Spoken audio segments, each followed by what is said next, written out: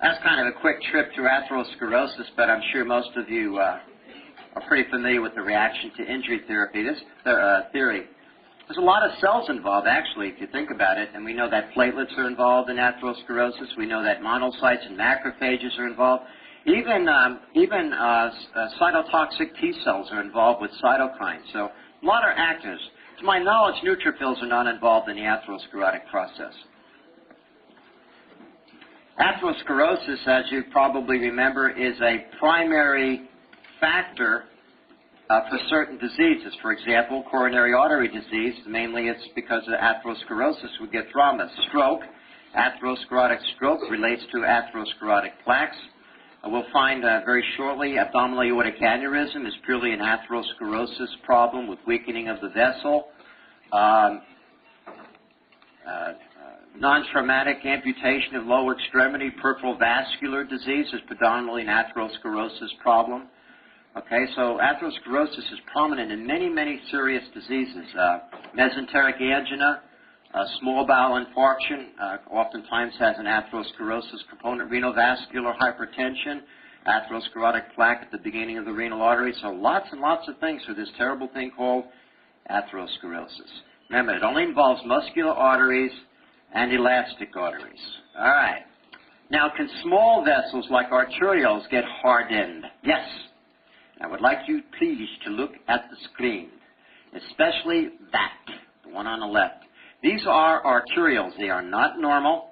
This is called hyaline arteriolosclerosis. This one is, that looks like an onion uh, cut in cross section is called hyperplastic arteriolosclerosis. Okay.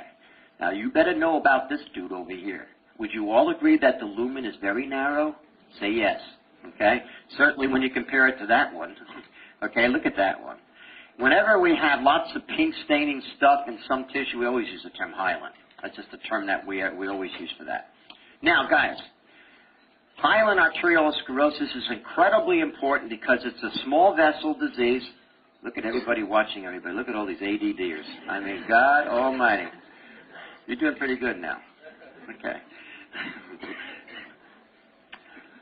okay. You're looking at the small vessel disease of diabetes and hypertension. Is that important? Does that perk your interest? Well, not really. Well, it should, because you're talking about two big time, uh, terrible diseases, diabetes and hypertension. And they produce this kind of small vessel disease, with different mechanisms. In diabetes, it's by what is called non-enzymatic, that means no enzymes are involved, glycosylation.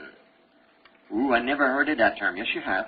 Ever hear of hemoglobin A1C? Did you ever hear of glycosylated hemoglobin? You ever hear that? Same thing. So you need to know what glycosylation is. Glycosylation is glucose attaching to amino acids in protein. In terms of hemoglobin A, it's glucose attaching to amino acids in hemoglobin A. That means it gets glycosylated when glucose attaches to those amino acids. And as you know, uh, hemoglobin A1C levels correlate with six to eight weeks of what your blood glucose levels were. So it's the absolute best way of seeing long-term glucose management. And he wants you below 6% if you're a diabetic, because that means that you're in a normal glucose range. See, all the damage due to, due to diabetes is purely related to glucose, nothing else. Nothing else. There's nothing unique about diabetes other than a high glucose level. You keep that normal, it's as if you don't have diabetes. Because the only two pathologic processes are this, non-enzymatic glycosylation of small blood vessels, including capillaries in the, in the, in the, uh, in the uh, kidney, and uh, osmotic damage. Okay, so those tissues that contain aldose reductase, uh, lens, uh, pericytes in the retina, Schwann cells, they have aldose reductase. They can convert glucose into sorbitol, and sorbitol is osmotically active, sucks water into it, and those cells die. So you get cataracts, you get microaneurysms in the eye because the pericytes are destroyed, so they're weakened, so the retinal vessels get aneurysms, and you get peripheral neuropathies because your Schwann cells are destroyed. That's it. Those are the only two mechanisms for pathology in diabetes, and they all relate to excess glucose. So tight glucose control, normal life, no problems at all, because the whole thing relates to high glucose. Okay. So what does non-enzymatic glycosylation do to the basement membrane of these small vessels? It renders them permeable to protein. So the protein in the plasma kind of leaks through the basement membrane and it goes into the, into the vessel wall and produces this hyaline change and narrows that lumen. That's all it is. So what if it did this to um, that non-enzymatic glycosylation of the glomerular basement membrane? Just think about that. What would that do to that basement membrane? Well, what did it do to this basement membrane? Rendered it permeable to what? Protein. So what if you rendered the glomerular basement membrane permeable to protein? What would you have in your urine? Protein. Might that be called microalbuminuria? Isn't that the first change that one sees of diabetic nephropathy? A little bit, trace amounts of albumin in your urine that shouldn't be there? Am I right or not? So what do you think the mechanism of that is? Say it. Non-enzymatic glycosylation. Okay, so you can see how important that process is, and Dr. Hansen will mention that glycosylation thing again so that just reinforces it again. Now, hypertension doesn't use that system for producing this disease. It just uses brute force. It just drives, because of the increase in diastolic pressures, it just drives the proteins right through the basement membrane into there and produces that effect. When we look at a kidney and hypertension, a couple slides up the road here. Uh, it's shrunken. It's kind of got this cobblestone appearance on the surface. And the reason why it's shrunken and has this, this kind of cobblestone surface is because they have hyaline arteriolosclerosis of the little arterioles in the cortex, ischemia, and basically just wasting away with fibrosis and atrophy of tissue. So it has a significant component uh, to the pathology of hypertension. Uh, lacunar strokes, those are the little tiny areas of infarction that occur in the internal capsule area, is a hyaline arteriolosclerosis problem related to hypertension. So much of the pathology of hypertension and diabetes relates to that stinking disease. Must know. Must know. Now this one is not all that common. Hyperplastic arteriolosclerosis. We see this with malignant hypertension more common in blacks and whites, mainly because hypertension is more common in blacks and whites. This is when you get 240 over 160 blood pressures. You go, you almost stroke out. You get papilledema. Okay, that whole bit. Okay, this is the kind of vessel changes that you see in the kidney and something like that. So that's about all this one's important for. Mainly, it's the vessel disease that we see in malignant hypertension. And that's all on those small vessels. Okay, let's go into something a little bit more interesting. Look at it, please. What do you see? I see. Oh, what do I see? You see two. You see two kidneys. You see an aorta, and you see the bifurcation, and you see this big old aneurysm there. That's what you see. Okay, we're talking about aneurysms now, guys. Let's define an aneurysm. Let's make some analogies here so that we can integrate this. An aneurysm technically is an area of outpouching of a vessel due to weakening of the vessel wall. So weakening, outpouching, aneurysm. Now, what's weakening the vessel wall, causing it to outpouch here? Atherosclerosis. We'll see why. Okay? Now, I'm going to make an analogy here for you and see if you're with me on this. The concept of aneurysm. Weakening, outpouching. What would be the analogous lesion in the lungs, weakening, outpouching. Bronchiectasis. Bronchiectasis would be. And it's due to usually cystic fibrosis with infection, destruction of the elastic tissue, and you get outpouching, dilatation of the bronchi. Bronchiectasis. Similar concept to an aneurysm in a vessel. Now this one's easy. You all should get this one. What is the GI, gastrointestinal, quote, aneurysm? Diverticular disease. In diverticular disease, you have a weakening and then an outpouching of mucosa and submucosa through the area of weakening. It's a concept, guys. It's a concept. Weakening, outpouching. This is how you should think, trying to correlate things together. Now, there's a law of Laplace. Ooh, we've got a physiology concept here. That says that wall stress increases as radius increases. Now, you know what that means in terms of this? Do you have any idea what this means? It means that once you start dilating it, it doesn't stop. because as you dilate something and increase the radius, that increases wall stress, it just keeps on getting. So in other words, all aneurysms will rupture. It's just a matter of when. That's the law of Laplace. It's the law of Laplace. So there's your correlation. Now why do they why is this the most common location for aneurysms? Answer, there's no vasa vasorum or blood supply to the aorta below the renal arteries. That's interesting. So that means this poor abdominal aorta can only get oxygen and nutrients from the blood that's in its lumen. So who gets screwed? The per far part furthest from it. So because of the fact that it really is not getting as much oxygen and nutrients, it would be a little bit more susceptible to injury, atherosclerosis, weakening of the wall, aneurysm. Very interesting. Dogs have vasa vasorum below the aorta uh, below the renal arteries, they never get aneurysms down there. We do because we don't. That's an interesting fact. I defy you to find that in Robbins. Why? It's not there. Okay. New England Journal has the best article on this, and this is all you have to know. The most common thing is rupture. Okay, there they um, in this article they actually gave a rupture triad. Better listen to it. Like sudden onset of severe left flank pain. Why? The aorta is retroperitoneal. And so the bleed is not into the peritoneal cavity, it's into the retroperitoneal tissue. So you get left flank pain, hypotension, because you can put 25% of your blood supply in your retroperitoneum, and pulsatile mass on physical exam. Those three things equals rupture, abdominal aortic aneurysm, and you'll see all three in the stem of the question. Part two deals with, you know, when do you electively remove them, what, what, what uh, sonometers and all that kind of crap, not part one. So the, the most common complication of, an, of, the, of any vessel aneurysm actually is rupture. Okay, now here's another aneurysm of the arch of the aorta. Now this is coming back now. It went away for a while. Now it's coming back because the most common cause of this is tertiary syphilis. Now, did you know did your microbiology people tell you that the pathology of syphilis is vasculitis? Ooh. Of what? Arterioles. The chancre too? Uh-huh. I don't believe it. Sure. Why is it painless chancre? Well, if you do a section right underneath that, that chancre, you're going to see little arterioles surrounded by plasma cells. That's the characteristic cell. And the lumen of the vessel is totally shut. So it's ischemic necrosis. So in other words, it's ischemia of the overlying tissue and it undergoes necrosis.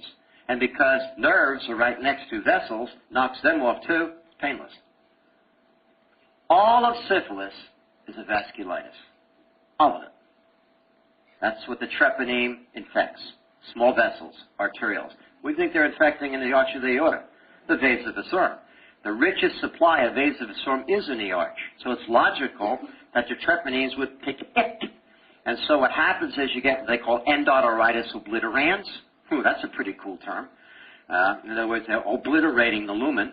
Okay? Ischemia, weakening under systolic pressures. Looks like a catcher's mitt. In fact, you could use it as a catcher's mitt. Looks like you can catch a hard ball in there.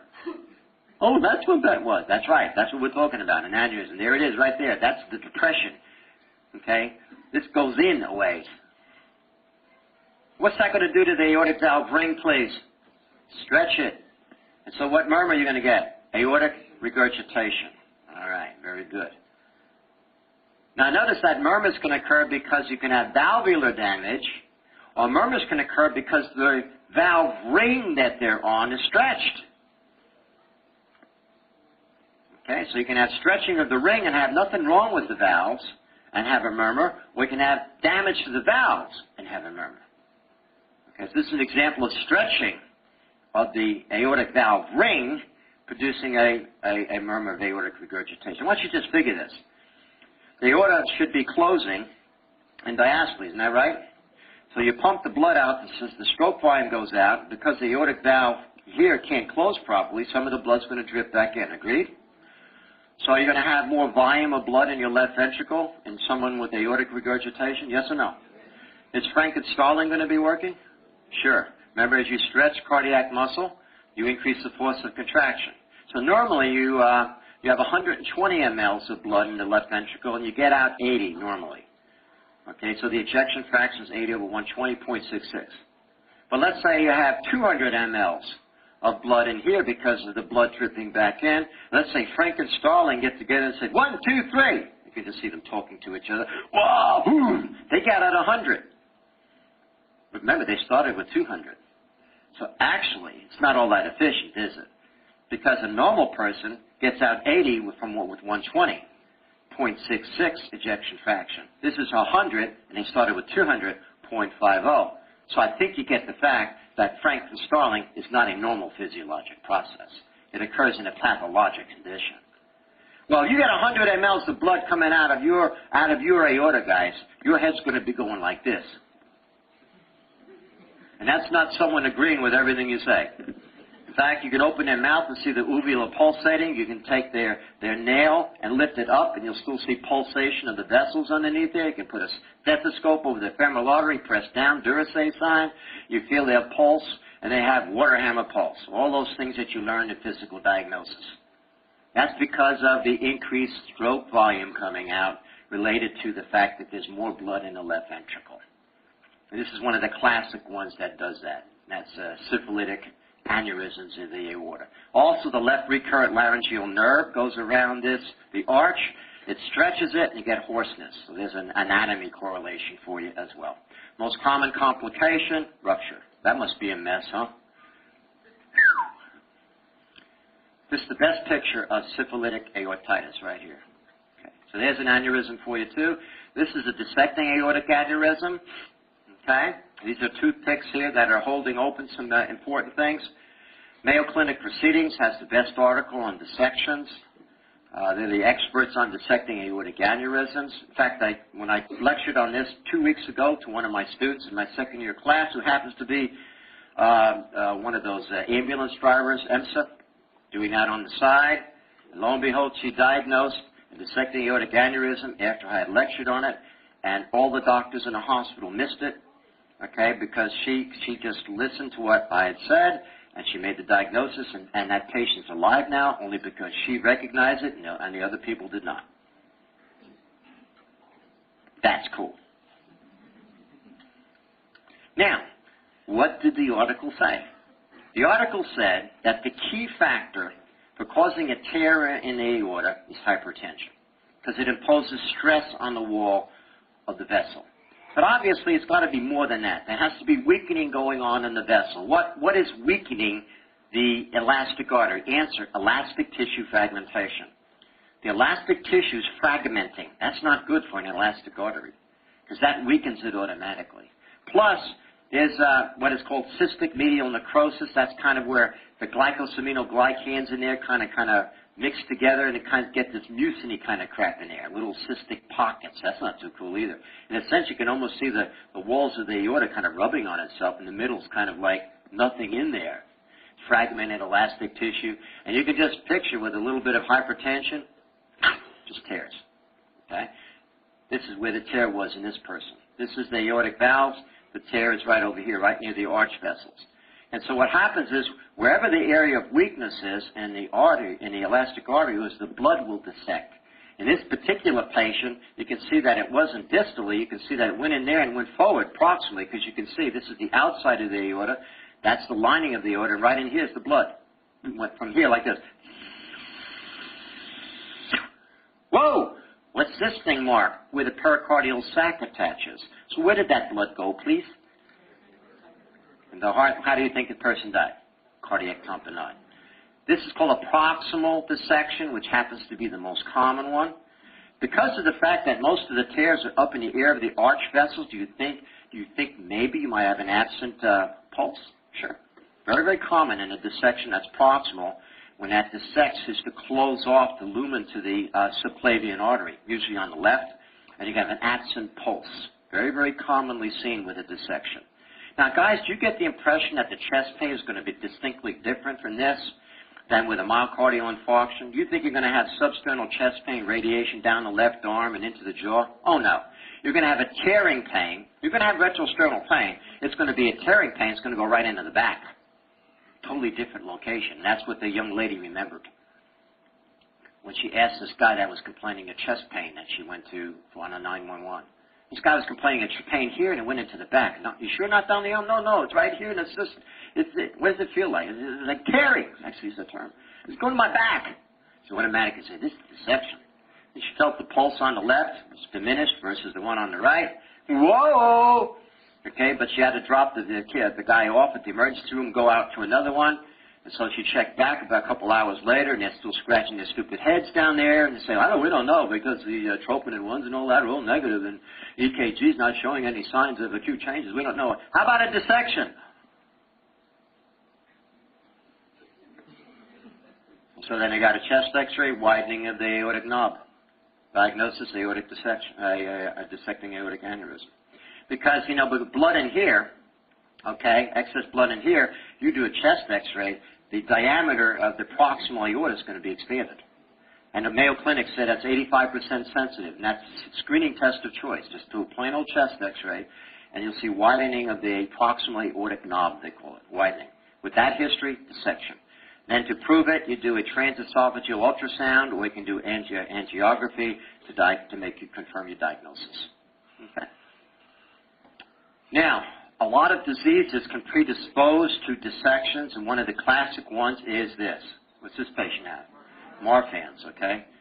You're seeing here eunuchoid proportions. That's where the height from the, uh, from the pelvic brim to the feet is greater than the pelvic brim to the head. Also, another definition is the arm span is greater than the height.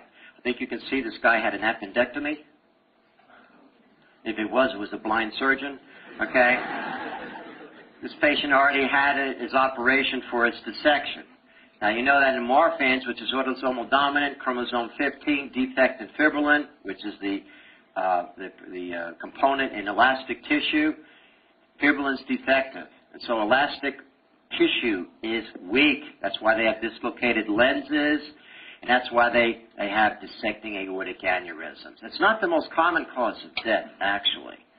Uh, even a little bit more common is mitral valve prolapse. They all have mitral valve prolapse and even tricuspid valve prolapse, and they go into uh, sudden death. They get some conduction defects. That's even a little bit more common than dissections. Okay, so Marfan's is a common cause of this. Uh, Ehlers-Danlos syndrome, because of defects in collagen, it's the most common cause of death there.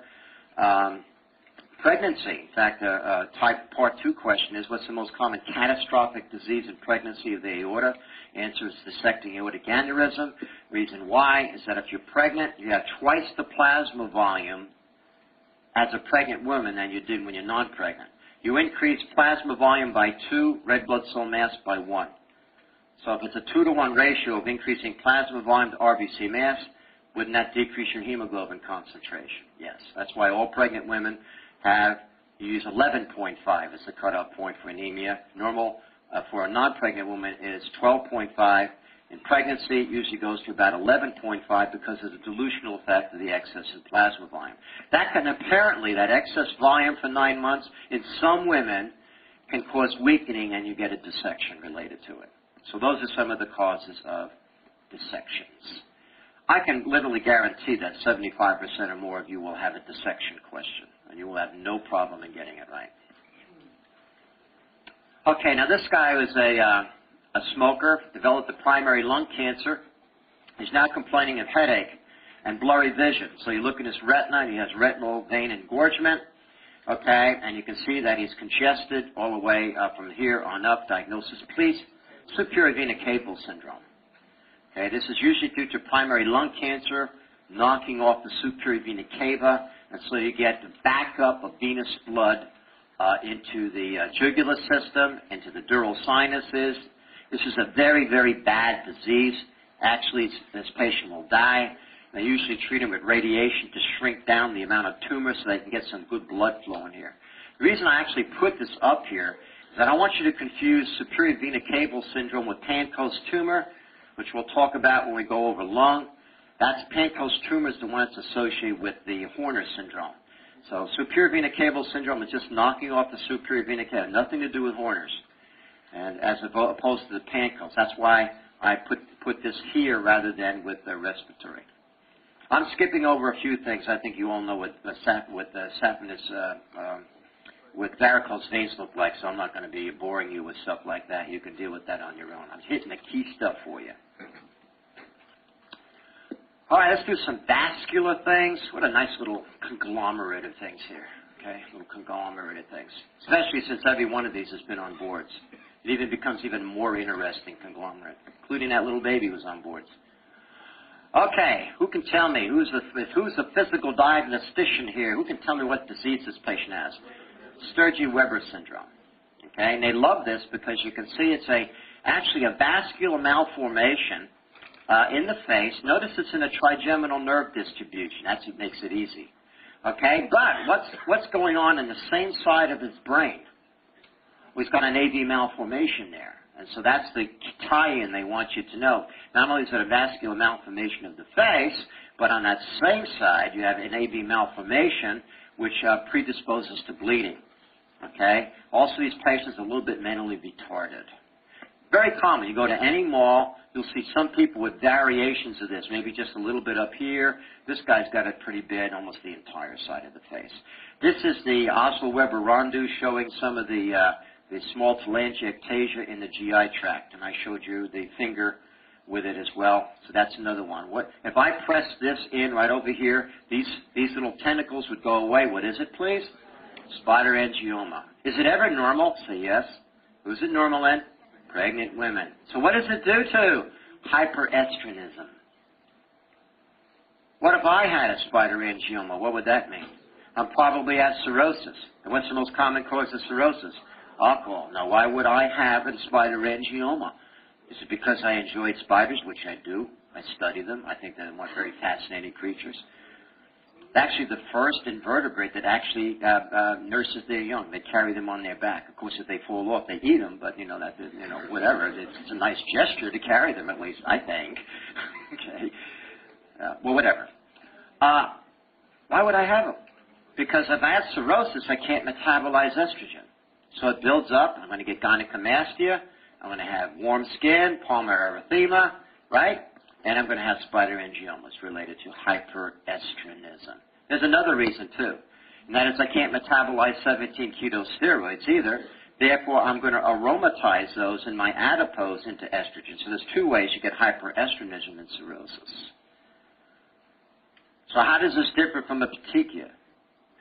Well, it looks different for one, but if I press that in, this would blanch because it's an arterial venous uh, fistula. In other words, you're going from arterial directly to a venule, and you're bypassing capillaries. That's what these are. Okay. Here's, uh, this is the truth. This is the truth. A couple years ago, okay, just put this up here. I said on the boards, if they show you a picture of a child that looks like this with a red lesion here, of course, most of you thought there was bilateral white eye reflex there and forgot that this is what we're talking about. That's flash over there. That's not a bilateral white eye. This kid does not have retinoblastoma, just in case you were wondering. I said, they, they show you a kid with a red lesion on the face. I'll bet you they're going to say A, surgically remove, and then look at E and it'll say leave it alone. That's right. And guess what? Guess what? Guess what? Guess what? The test that those kids took at this picture, and guess what A was? Surgically remove it, and guess what E was? Leave it alone. I got so many calls on that. I said, did you know that was on the test? That's the exact picture, and A was what you said it was, and E was what you said it was. Just happened to guess. Why? Because they want you to leave it alone, because by eight years of age, that'll be totally gone. The capillary hemangiomas, leave them alone. Don't fiddle with them. Don't, don't try to disfigure the poor kid's face. They'll do fine. That is the cutest little mouth I've ever seen. Look at that. It looks like a heart. Look at it. It looks like a heart. I love babies. I am the absolute best poppy in the world.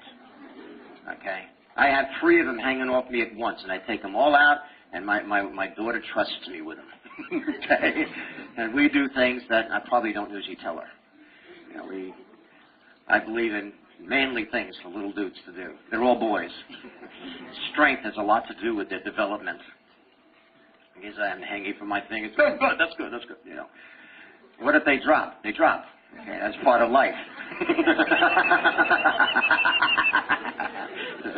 they are real tough. They are real tough. I have one of that they do on a swing. and I'd hold up a stick. I'm in front of them. They're on a swing, and they, they go on their bellies on the swing. They push up, and the object is, is to grab the stick and hold on to it. Okay? So there's my little five-year-old. He goes, all right, one hand. He's smiling at me, and I'm looking down. Then I put it up here. Then I put my three-year-old. He does it. Okay? He's smiling away. He did it. His big brother did it. He did it. Now the uh, two-month-old can't do that yet. Little sucker just looks at me with a smile all the time. But I'm still holding him upside down and all kinds of stuff. Testing him out, getting him ready for power.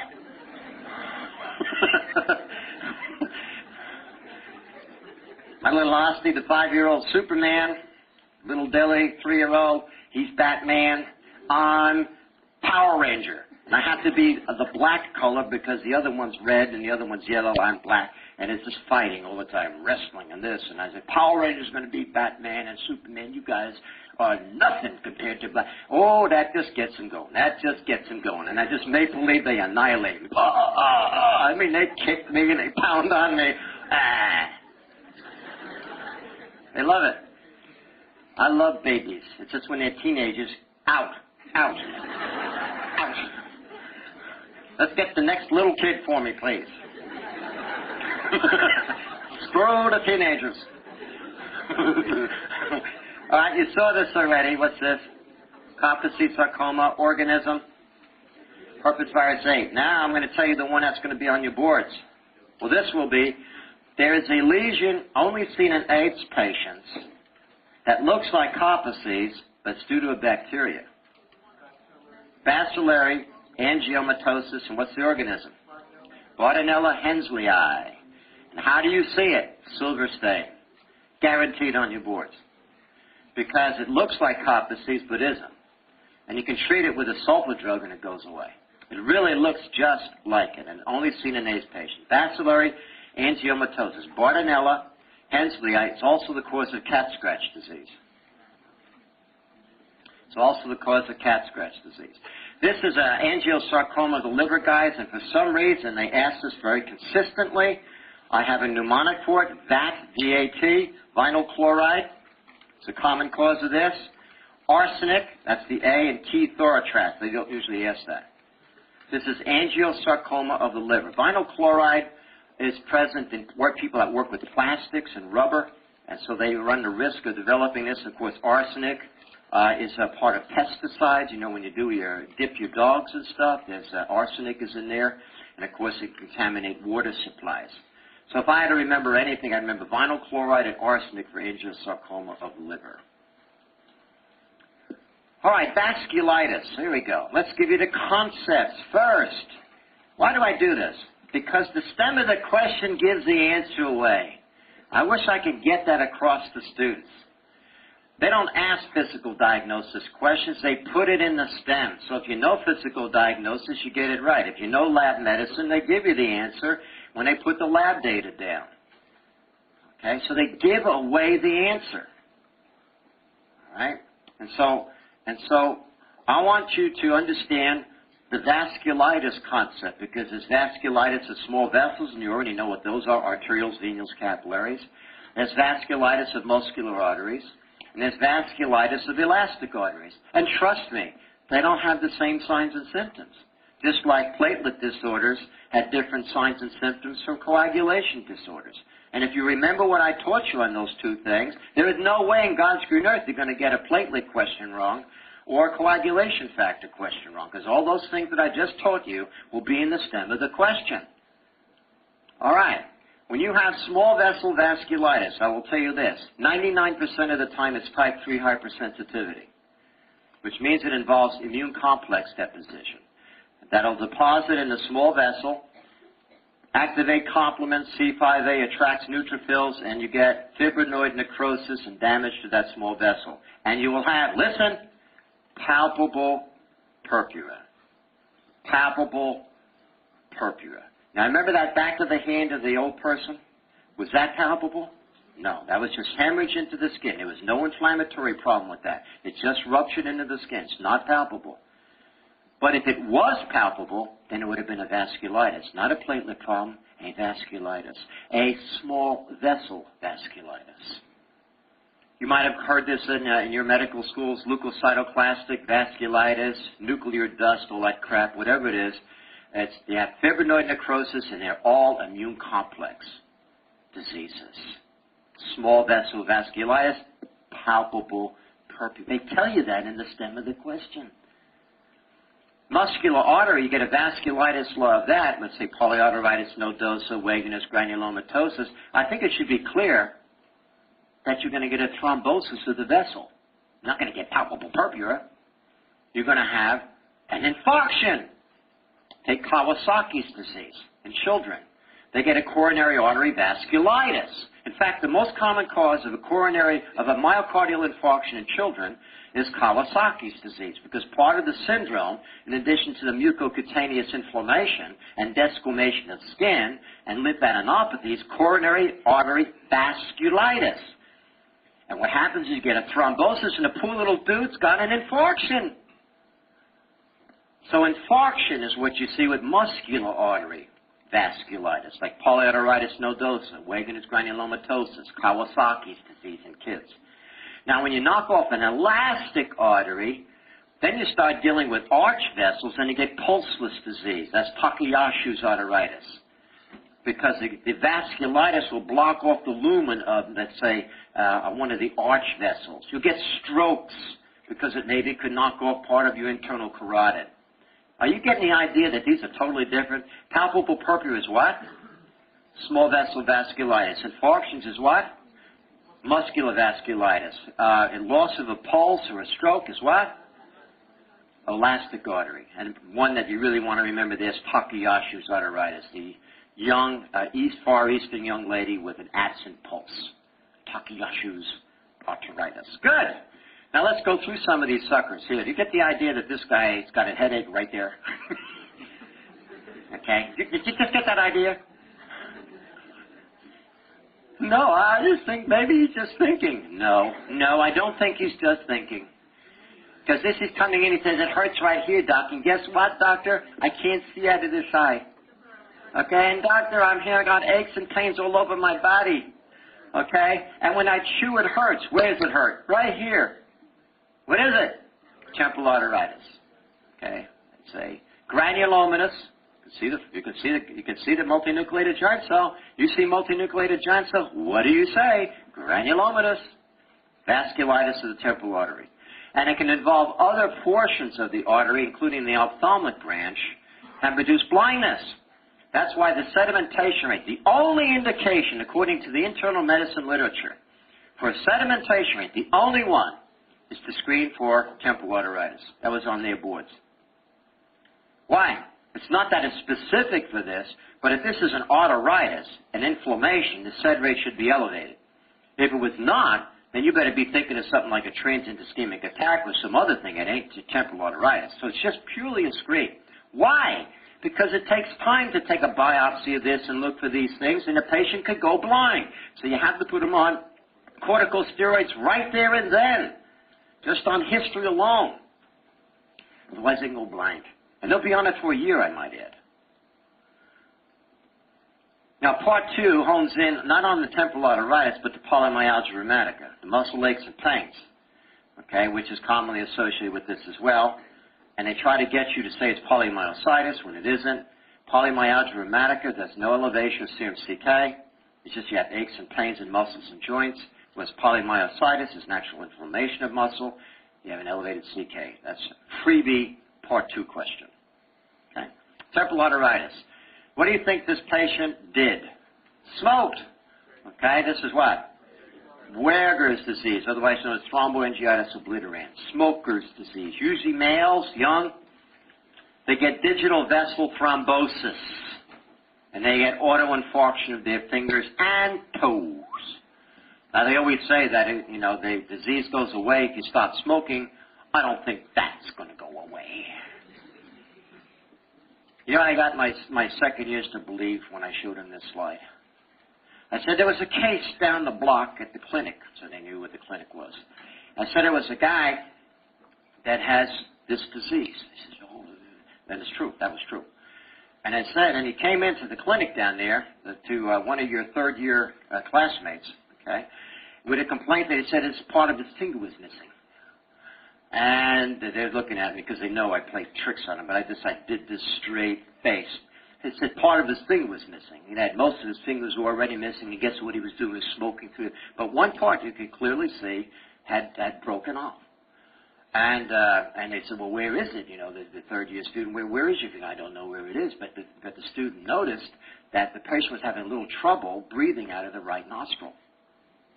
Okay, and so the student just was saying to himself, no, no, that couldn't be. But because they went to my class and all that stuff, and they were taught to to to look in every every everywhere because physical diagnosis was just decided to just take a look and see it just if that you know. So I looked in there and guess what they found? They were all like this.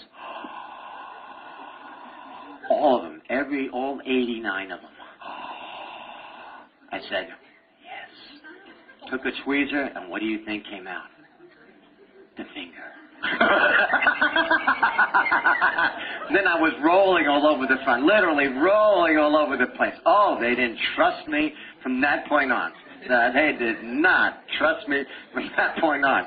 They just said, no, we don't believe you. Okay? They actually, I got all of them, 89 of them. They're like,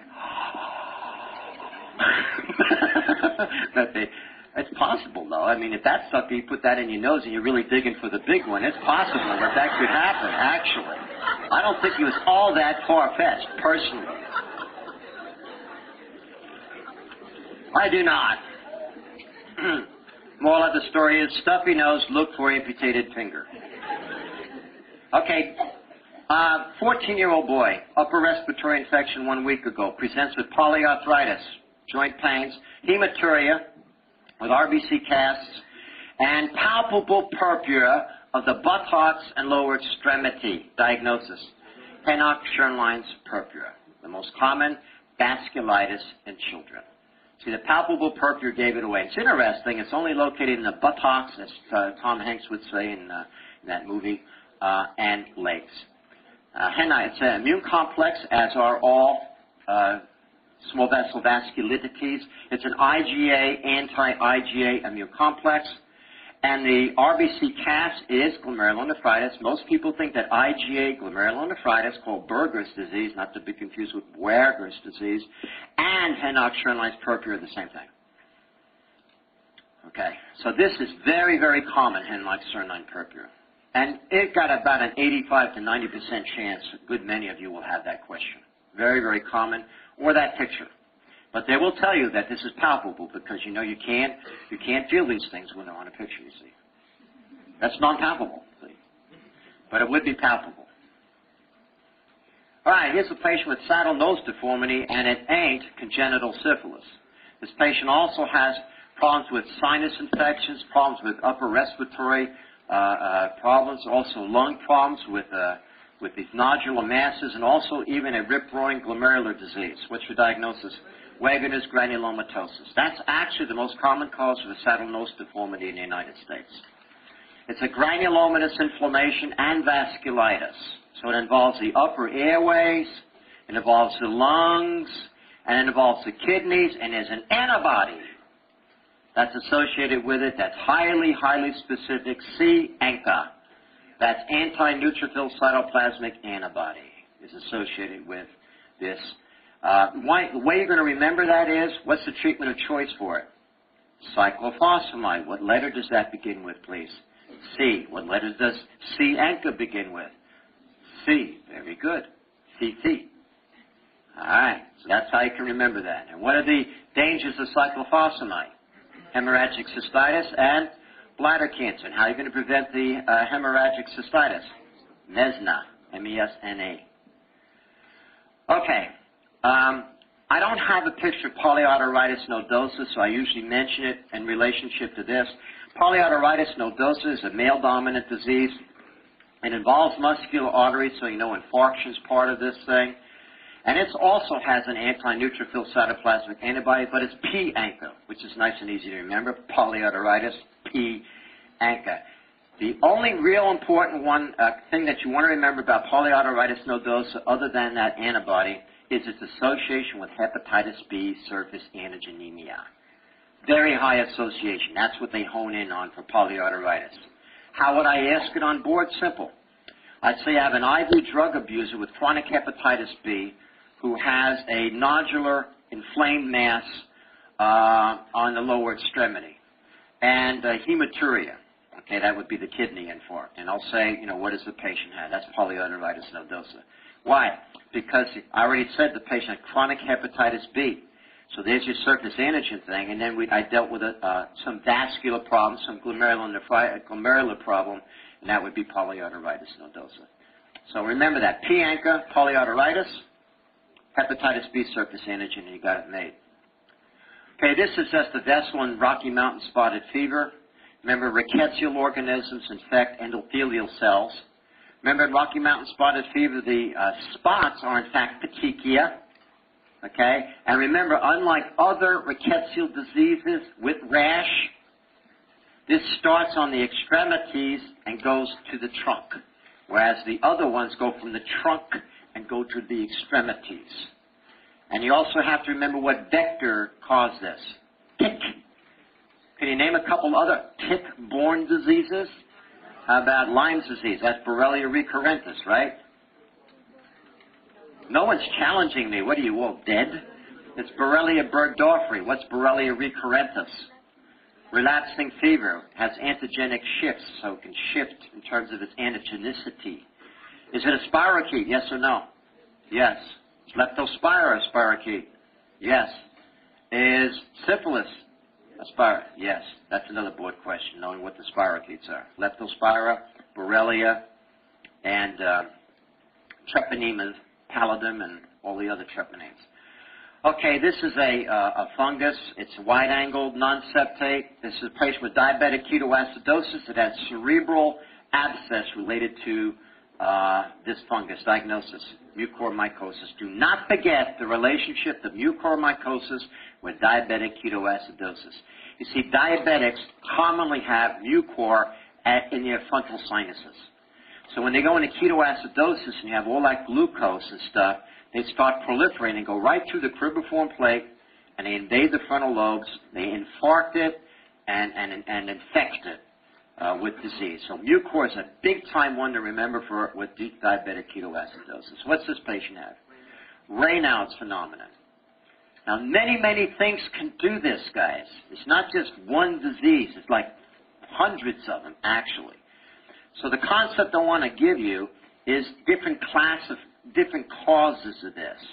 Now, some of them involve cold reacting antibodies and cold reacting globulins. I've already mentioned those already. And those people are going to have that relationship with going outside in cold weather and getting Raynaud's and cyanosis of the nose and ears, and they come in and it goes away. I mean, that is clear cut. So the answer to that one's either going to be some kind of IgM cold agglutinin disease or cryoglobulinemia in an old man with hepatitis what? B or C? C. Very good. That's wonderful. All AD people always get that right. Because that is very good. Why? A, B, C. That's why. It's amazing. Okay. However, what are you laughing about? we have some other diseases that are autocollagen vascular where the first manifestation of them is Raynaud's this involves a digital vasculitis and eventually a fibrosis. Who am I? Progressive systemic sclerosis, otherwise known as scleroderma, and its counterpart, CREST syndrome. CREST toothpaste. CREST syndrome. A little bit of a variation of scleroderma. And the first manifestation is Raynaud's, but it's a different mechanism. It's an actual vasculitis of the digit. And eventually it'll fibrose. And remember that finger and that kid, that guy with the smokers? You auto amputate your fingers. Let's go through CREST syndrome. I have two things for C. One is calcinosis, that's dystrophic calcification. The other C I want you to remember is centromere antibody. The centromere antibody is specific for CREST syndrome. So there's good, two good things to remember with C. Of course, that's not in books. I made that up. What's R? Raynaud's. What's E? esophageal dysmotility problems. With S, sclerodactyly. That's a finger that looks like you stuck it in a, in a pencil sharpener. It's a nice and narrow finger. What's T? Telangiectasia. Very similar to those little pinpoint areas of hemorrhage that you saw with Osler Weber Rendu. Always ask, guys. Always ask. Okay, now other causes are just due to vasoconstriction. It's common in people that have migraine headaches that take uh, Cafergot types of drugs because migraines are due to dilatation of vessels and the medications you take could constrict them. Okay, and sometimes you can get Raynaud's phenomenon after taking ergot derivatives uh, uh, as well. Buerger's disease can also have Raynaud's associated as well. So vasoconstriction is one group of things that can do it. Uh, vasculitis of the digit is another one. That would be scleroderma, uh, syndrome, and um, cold reacting antibodies and globulins is another group of diseases that can do this. They like Raynaud's. This exact picture has been on many, many, many tests. Hypertension is a very nice little conglomerate of things that kind of tell, show you actually the main organs that hypertension affects. And then I did it in sequence too. The most common cause of death in hypertension is a myocardial infarction. Second is stroke. Third is renal failure. So let's talk about hypertension, most commonly essential hypertension. What racial group has the highest incidence of hypertension? The black population. Now it's, it's obviously if that's true, there must be some kind of genetic thing, but it ain't Mendelian. What is it? Multifactorial inheritance. Another name, polygenic inheritance. That's what it is. Gout's multifactorial inheritance. When you ask people if they have a family history of coronary artery disease, they say yes. Coronary artery disease is multifactorial. Type 2 diabetes is multifactorial inheritance. I said gout already. Uh, affective disorders, the kind, did you have FATEM? FATEM, teach me. Affective disorders, multifactorial. Congenital pyloric stenosis, multifactorial inheritance. Essential hypertension, multifactorial inheritance. Now, you know what that means? That means you have a tendency for, but not don't necessarily get disease. Because it said it's multifactorial. Okay? So I was black and I had this history in my family, what would I do to prevent me from getting it? Okay, now I can't change my genetics. My genetics are I can't get rid of salt in my urine. Okay, I'm retaining too much salt. That's the basic mechanism of essential hypertension in the black population. I also might add the uh, adult old people. I just can't get rid of salt. We'll go through why, why you get hypertension with that. Well, I can't control that, but I sure can control two things. One is my weight, because I know there's a direct correlation with my weight and hypertension. So I'd make sure that I was uh, nice, lean, and mean. Okay. And secondly, I can reduce my salt intake. Okay, I could do that too, right? And I can exercise. Those things would reduce my risk for developing hypertension because those are the the other factors that could produce the disease. Take gout. If I have a family history of gout, what could I do so that I don't get a gouty arthritis? Well, I'd want to make sure I don't eat no red meats whatsoever drink absolutely no alcohol because that would keep my purine metabolism down and I wouldn't end up having to worry about getting gout. So I might have the genetics, but I could do things to prevent me. If I type, if I had a family history of diabetes type 2, what would I do? Oh, I'd make sure my weight was. I would be lean and mean. I would have not one one speck of adipose on me. Okay, because as you as you lose adipose, you upregulate insulin receptor synthesis, and that alone could prevent you from getting the disease. So that's the good news about having multifactorial inheritance. There are some things you can do that will decrease the chance that you can get that. Let's go through the mechanism of why you get hypertension because you retain salt. Now, this isn't the only mechanism, but this is the most common one. When you retain salt, what compartment is that salt going to be retained in? ECF. Okay. So if that's true, then what would be the plasma volume if you had excess salt in your vascular and interstitial compartment? Increased. If your plasma volume's increased, then what's, what's your stroke volume have to be? Increased. So there's your systolic hypertension right there. It relates to increase in plasma volume. Now, maybe you learned this, maybe you didn't. When you have excess salt, Salt likes to go into smooth muscle cells. Where? Peripheral resistance arterioles. Now you know that when sodium enters muscle, it opens up certain channels for who to go in? Calcium. So calcium goes in, and what does it do to the smooth muscle down there? Contract. So what's happening to the peripheral resistance arterioles? They're, they're decreased. They're in vasoconstriction. Total peripheral resistance equals viscosity to the radius to the fourth power. We're decreasing the radius, increasing peripheral resistance. Are we keeping more blood in our arterial system in diastole while our heart is filling up? And, uh, what? No, are we? Uh, are we are we retaining more blood in our arterial system? Yes or no?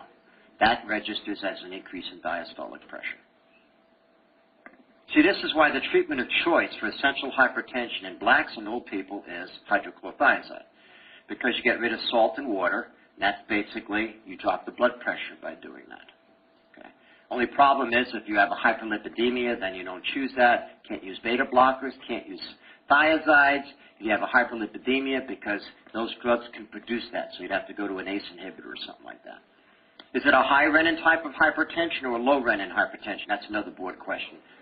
Low renin, because you have increased plasma volume, that's, uh, that's increased blood flow to renal artery, decreased renin. Very good. Very good. Okay, so that's the basic mechanism of most causes of hypertension. Okay, in terms of complications, most commonly um, myocardial infarction, in fact, is one of the major risk factors for coronary artery disease is hypertension. Okay, so that shouldn't surprise you. It's the most common cause of death. The next one's stroke, and remember this picture. We'll see it again we do CNS on Friday. Where is that blood located? It's in that globus pallidus putamen area, right? That's where almost all hypertensive bleeds occur in the brain.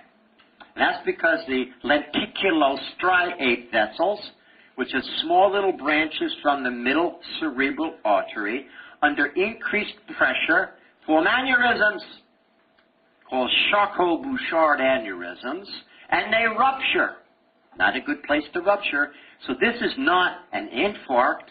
This is a hematoma. It's a blood clot right there. Not a good place to have a blood clot.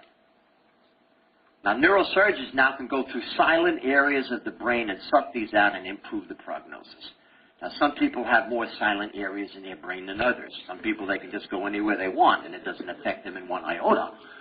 But whatever they can, do that. So that's your second most common cause of death, a hypertensive bleed. And this is that kidney I told you about. That look normal to you? Say no.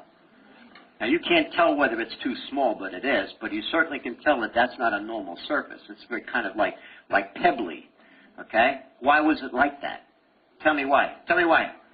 Hyalin, finish it. Arteriolosclerosis, that small vessel disease, is causing ischemia in that kidney, atrophy of tubules, destruction of glomeruli, the kidneys are shrinking, and you go into renal failure eventually. That's the third most common cause of death in hypertension.